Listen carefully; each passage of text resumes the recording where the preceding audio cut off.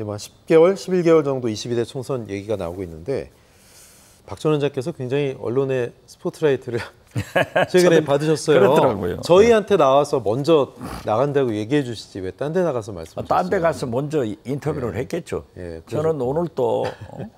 지금 네 번째 인터뷰를 하고 있습니다. 네네. 그런데 뭐 채용 우리 비서관들 둘 채용했다고 네.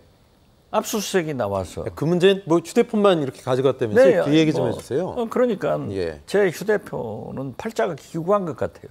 검찰로 휴가 갔다 오더니 이번 여름에는 또 그 경찰로 휴가 갔어요. 근데 그 국정원장 때 쓰던 거 아니시죠? 아니죠. 아닌데 그 경찰에서 아무것도 없으니까 예. 이거라도 가지고 가겠다 해서 휴대폰 하나 다시 샀어요. 네. 우리 소비 경제에 제가 기여를 해준 겁니다. 삼성 걸로 사셨습니까? 네, 삼성 걸 샀죠 물론. 저는 자, 그런데 아이폰 사는 걸 싫어해요. 이게 그 목포냐 뭐 영등포냐 출마 얘기 나오셨고 또 박 전 원장뿐만 아니라 그 올드보이들 22대 총선에 다시 돌아온다 이런 얘기들도 많이 나오고 있는데 우선 여건부터 보면 많은 분들 이름이 좀 나오고 있더라고요. 특히 박근혜 정부 때 정치인들 뭐 우병우 전 수석 이름도 나오고 있고요. 최경환 전 경제부총리 얘기, 뭐 유영아 변호사, 뭐 이정현 전 대표 얘기도 나오고 있는데 이렇게 되면 박 전 대통령의 영향력이 좀 커지는 겁니까? 어떻게 되는 겁니까? 우병우 변호사나 유영아 변호사는 정치인이 아니었어요. 예. 그렇지만 최경환 부총리나 이정현 전 대표는 정치인이었기 때문에 그렇죠. 저는 나오리라고 봅니다. 음. 또 훌륭하신 분들이에요. 예. 그리고 우리 야당에서도 민주당에서도 뭐 천정배 무슨 뭐 정동영, 정동영 예. 이런 분들이 거론되는데요. 네. 정치라고 하는 것은 김대중 대통령께서 강조를 하셨습니다. 네. 노장청의 조화를 이루어야 된다. 그렇기 때문에 중진들, 나이 드신 분들의 경륜과 경험 예. 이런 것과 청년 젊은 지도자들의 패기가 합치면 좋은 정치가 되는 거예요. 네. 저는 사실 현실 정치로 돌아가겠다 하는 생각은 별로 안 가졌어요. 그런데 이렇게 윤석열 정부에서 저를 탄압하니까 아 이런다 하면은 나는 총선으로 가겠다 하고 확정은 했습니다마는 네. 제가 목포로 갈지 해남 진도 완도로 갈지 어디로 갈지 하는 것은 아직 정하지 않았습니다. 네. 목포가 그래도 가능성이 가장 높습니까? 아니 어떻습니까? 그렇게 말씀하시면 안 됩니다. 그래도 물론 목포에서도. 저한테 그 아쉬워서 네. 오라고 하는 분들이 많고 예. 또 저희 고향 해남완도 진도에서도 굉장히 와서 예. 지금까지 나라를 위해서 일했으니까 이제는 고향 발전을 위해서 마지막 봉사해라 예. 하는 요구가 있기 때문에 예. 여러 가지를 보고 좀 생각하고 있습니다. 예. 근데 손혜원 전 의원 뭐 이런 분들이랑 설전 좀 하셨는데 이번에도 아이, 뭐또 손혜원 의원은 하는데요. 그 말씀하지 마세요. 뭐 그런 분도 있는 거죠.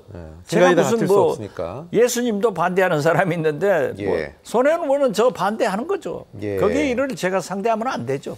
그냥 하라고 놔두세요. 그럼 현 목포 지금 김원희 의원인데 김원희 의원은 좀 눈치 안 보이세요? 뭐 김원희 의원도 저도 만났어요. 예, 제가 예. 목포에 가서 예. 강연을 하는데 예. 초청 받아서 강연다는데 거기 와서 들어, 듣더라고요. 예. 뭐 그런 것은 다 그런 거죠. 아니 다 정치란 것은 경쟁을 하면서 유권자들의 네. 시민의 선택을 받는 거니까 네. 아무렇지도 않아요. 그런다고 제가 어떻게 다 100% 지지를 받습니까? 예. 아니 윤석열 대통령도 저도 입만 버리면 비난하잖아요. 네. 뭐 그런 거죠 정치란 게. 박 전 원장뿐만 아니라 정동영 전 장관 그리고 말씀 나왔던 천정배 전 의원 이런 분들이 이제 뭐 준비하고 있다 얘기가 나오고 있는데 사실은 86 정치인들 중에서도 이제 출마하지 않겠다 어, 불출마 선언한 분들도 계신데 그렇다면 이 김남국 코인 사태 그리고 또 전 경선에서의 돈봉투 효과 관련해서 뭔가 현역들의 대규모 물갈이가 예상이 되거나 진짜 이거 공천할 분이 없는 거 아니냐 진짜 인물난에 허덕일 수도 있겠다 이런 관측까지도 나오고 있는데 아마 그런 것은 보세요? 좀 지나친 예측이고요. 네. 언제든지 현역 의원들을 선거를 끝나고 보면 30% 내지 40%가 물갈이 됩니다. 음. 그렇기 때문에 어떤 사람이 어떻게 될지는 아직도 문제가 있고 지금 윤석열 대통령도 저 모양이고 예. 우리 민주당도 이 모양이니까 네. 뭐라고 예측할 수는 없습니다. 네. 그렇지만 저는 어떤 경우에도 민주당이 이재명 대표를 중심으로 뭉쳐서 네.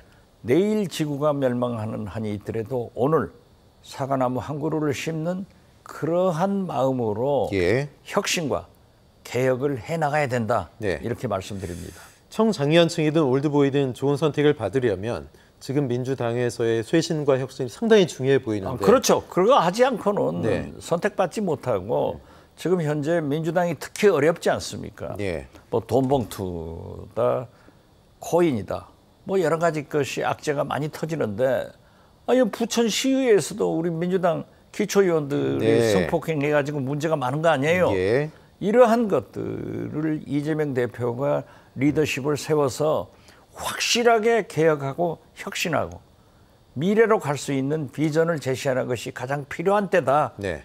그리고 지금 현재 윤석열 정부의 저런 실정을 보고 후쿠시마 오염수 방류 반대 그리고 외교 보충을 위해서 이재명 대표가 중국, 러시아를 접촉해서 좀 큰 메시지를 내놓는 네. 그런 지도자가 됐으면 좋겠다. 저는 그런 말씀 드립니다. 네. 근데 국민들 어, 눈높이는 그런데 민주 당내에서는 뭐 지금 대의원제를 폐지하느냐 뭐 이런 얘기에 좀 함몰되어 있어서 아니 좀 그런 큰 것은 시각을 못 보는 게 그런 아니냐. 것은 큰 문제가 아니에요. 네. 어, 대의원제도 사실은 어떤 특정 지역은 당원이 많고 취약 지역에 당원이 없기 때문에 그것을 보충하기 위해서 대의원, 대의원제가 있어요. 네. 그러니까 그런 문제는 큰 문제가 아니다. 이런 것은 당내에서 소통하면 되는데 가장 큰 문제는 개딸이다, 예. 수박이다, 양아들이다. 이런 불필요한 분쟁의 싸움은 지양하자 이렇게 말씀드립니다. 다음에 지역구 확정되면 저희 프로에서 제일 먼저 말씀해 주십시오. 아마 하지 않을 건데요. 알겠습니다. 말씀 여기까지 들어보죠. 박지원 전 원장님과 얘기 나눴습니다. 고맙습니다. 네, 감사합니다. 네.